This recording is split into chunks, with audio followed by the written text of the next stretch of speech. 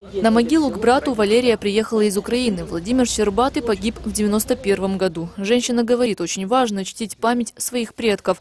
Кроме того, это еще одна возможность собраться всей семьей. В принципе, это единственное, наверное, уже место такое, где может э, съехаться вся Родена, весь род. Хоть говорят, это светлая печаль, но она никогда, наверное, не будет светлой. Это слезы до сих пор. И он погиб в 41 год. Остались дети, дети уже выросли. Тоже приезжают.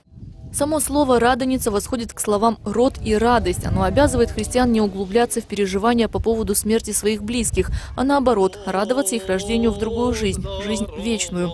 В этот день верующие приносят покойным радостную весть о воскресении Христовом. Эта традиция уходит корнями в глубокую древность.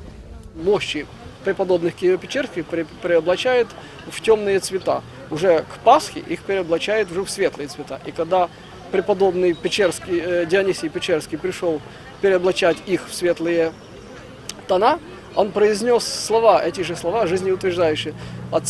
Священники говорят, дни пасхального поминовения очень важны. Мы несем на кладбище надежду на то, что в будущем тоже перейдем в Светлое Христово воскресенье. Не здесь, а в мире ином.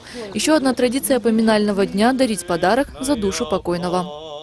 мир иной, мир загробный, он существует, что он есть, что Христос воскресе.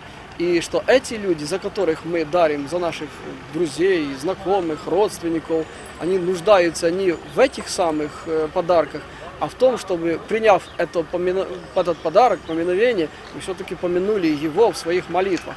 А вот вспоминать усопших алкоголем или трапезой на могиле скорее пережитки язычества. Священники советуют лучше помолиться за близких или поставить свечу за упокой. Тем более, что Радоница у православных длится всю неделю.